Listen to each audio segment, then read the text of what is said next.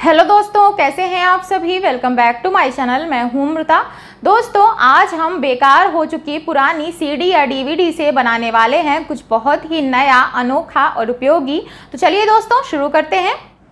तो दोस्तों, यहाँ पर आप देख सकते हैं कि मेरे पास ये कुछ पुरानी सीडी और डीवीडीज़ हैं, जो कि बहुत समय से घर पर पड़ी हुई हैं और ये ख़राब हो चुकी हैं। तो दोस्तों, इसके बाद हम यहाँ पर ये एक्रालिक कलर ले रहे हैं। मैंने यहाँ पर ये ऑरेंज कलर लिया है, जैसा कि आप देख सकते हैं। और इस पूरे सीडी जो है, इस पर हमने ये ऑरेंज कलर जो है, वो अप्लाई कर दिया है। इसके बाद मैंने यहाँ पर ये ब्लू कलर लिया है और इसको भी पूरी सीडी पर मैं अप्लाई कर दूँगी और फिर हम अच्छे से इसको सुखा देंगे। और तीसरा कलर मैंने यहाँ पर ये वाला लिया है, ये पिंकिश कलर है और इसको भी मैं ऐसे अप्लाई कर दूँगी पूरे सीढ़ी में ही। दोस्तों, अभी तक हमने तीन सीढ़ी में तीन कलर किए हुए हैं और ऐसे ही तीन कलर हमें तीन और सीडी में भी करने हैं, यानी कि हमें दो सीडी में एक ही कलर करने हैं। जैसे कि देखिए, यहाँ पर मैंने दो सीडी में ब्लू कलर किया हुआ है, दो सीडी में ऑरेंज कलर किया हुआ है और दो सीडी में हमने ये पिंक वाला कलर किया हुआ है।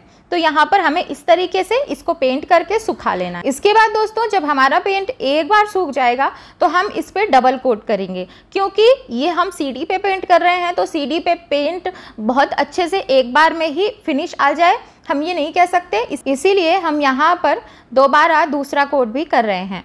तो हम दूसरा कोट करके भी इन सभी सीडीज़ को अच्छे से सुखा देंगे। अभी हमने एक ही तरफ़ पेंट किया हुआ है दोस्तों, क्योंकि हमें एक ही तरफ़ के पेंट की ज़रूरत है। ये दूसरा तरफ़ जो है, दूसरा साइड जो है, वो साइड बिल्कुल खाली है। इस पर हम ये हॉट ग्लू लगाएँगे और सेम दूसरी सीडी जो हमने उसी कलर से पेंट की है, उसका बिना पेंट किया हुआ हिस्सा हम उसके ऊपर चिपका देंगे। ये देखिए। तो हमारा जो दोनों तरफ़ का ये हिस्सा है, वो हमें पेंट किया हुआ मिल गया है और ये जो सरफेस है, ये थोड़ा मोटा हो गया। इसी तरीके से हम बाकी की सीडीज़ को भी चिपका देंगे। तो जैसे हमने छः सीडीज़ को पेंट किया था तो हम उसमें से तीन इस तरीके के सरफेस बना लेंगे और ग्लू गन से दो दो सीडी को आपस में चिपका देंगे। ये देखिए, कुछ इस तरीके से। तो दोस्तों, हमने यहाँ पर छठ सीडीज से तीन सरफेस तैयार किए हैं, जैसा कि आप देख सकते हैं। आप चाहें तो इस तरीके से काफ़ी सारे सीढ़ी का भी यूज़ कर सकते हैं और भी कलर्स इसमें अप्लाई कर सकते हैं। इसके बाद दोस्तों मैंने यहाँ पर, देखिए ये वाइट एक्राइलिक कलर लिया है क्योंकि मैंने डार्क कलर चूज़ किए हैं, इसी वजह से मैंने डिज़ाइन बनाने के लिए वाइट एक्राइलिक कलर चूज़ किया है। और मैं इस तरीके से एक ट्रेडिशनल आर्ट वर्क जो है, वो इस पर कर दूँगी और इस तरीके से जो मुझे आसान लगता है उसको मैं अप्लाई करूँगी। आप भी इस तरीके से अपने लिए जो कंफर्टेबल हो, वो अप्लाई कर सकते हैं। और इस, इसी तरीके से दोस्तों, हमारी ये जो दूसरी वाली सीढ़ी है ब्लू कलर की, इस पर हम यहाँ पर एक फेस बनाएँगे और मतलब एक आर्टिस्टिक फेस बनाएँगे, कोई रियल फेस हमें नहीं बनाना है। तो यहाँ पर ये देखिए, हम यहाँ पर थोड़ी सी आँखों जैसा स्ट्रक्चर बना रहे हैं और इसके बाद यहाँ पर हमने ये बिंदी लगाकर इसको थोड़ा सा डेकोरेट कर दिया है और इसके बाद ये इसकी जो आइज़ जैसा एक स्ट्रक्चर जो है, वो बन गया है। तो बस इस तरीके से हमने इस पर पेंट कर लिया है और इसी तरीके से आप अपने मन का पेंट सीडी पे कर सकते हैं। इसके बाद मैं तीसरी वाली सीडी पे भी ट्रेडिशनल आर्ट वर्क ही कर रही हूँ और ये देखिए कुछ इस तरीके का आ, मंडाला से मिलता जुलता एक आर्ट वर्क है।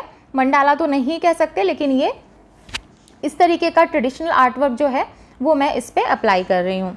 और इसके साथ ही हम इस पर ये दूसरी वाली लेयर बनाएँगे ताकि थोड़ा सा अट्रैक्टिव दिखे और साथ में कुछ डॉट्स बना लेंगे, जिससे कि ये थोड़ा सा एक बहुत ही अच्छा सा ट्रेडिशनल और फाइन लुक जो है, वो उभर के सामने आएगा।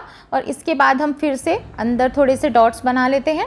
और इसके बाद हम फाइनली इसके चारों तरफ़ एक सर्कल बना देंगे। ये देखिए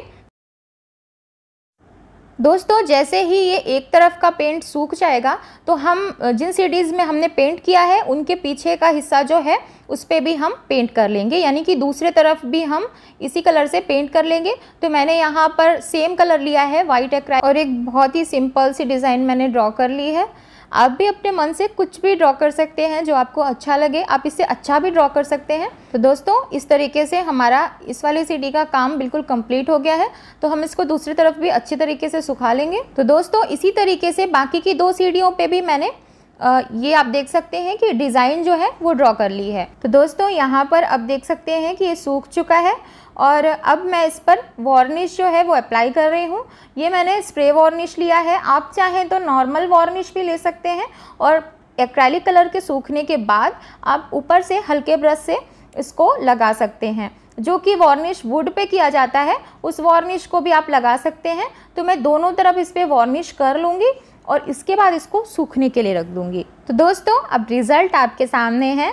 सूखने के बाद अब हमें मिल चुके हैं ये सुंदर से टी कोस्टर्स अब आपके सोफ़े पे चाय के दाग नहीं लगेंगे और ना ही आपके बिस्तर पर और ना ही आपके टेबल रनर पर। क्योंकि हमारे पास सुंदर से टी कोस्टर जो हैं, वो बन के रेडी हो गए हैं और वो भी हमने बिल्कुल ही बेकार सीढ़ी से बनाए हैं। और दोस्तों, हमने इसमें दोनों तरफ़ ही डिज़ाइंस बनाई हैं तो हम इसको दोनों तरफ़ से ही यूज़ कर सकते हैं। और ये वॉशेबल है, क्योंकि हमने इस पर वार्निश किया हुआ है।